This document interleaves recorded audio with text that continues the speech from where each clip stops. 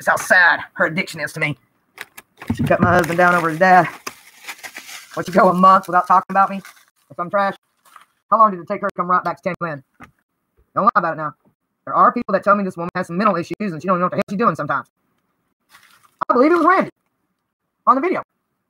More or less uh, trying to not take it out of phrase context.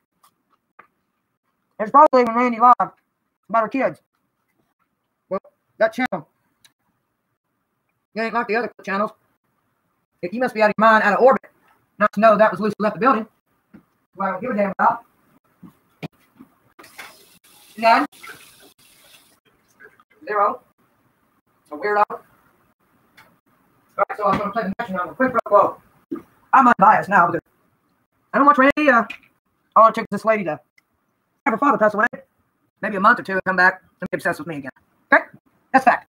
Do I care? No. Does the channel, do I look at it? No. This will be first time. I mentioned it, I think, one time when uh, Shannon681 mentioned um, homeless by Christmas vlog, and I was in the uh, Kroger parking lot video, and I can look at that month. See how long after her father passed it took her to jump back aboard and attack me. Thank you for the gunshot.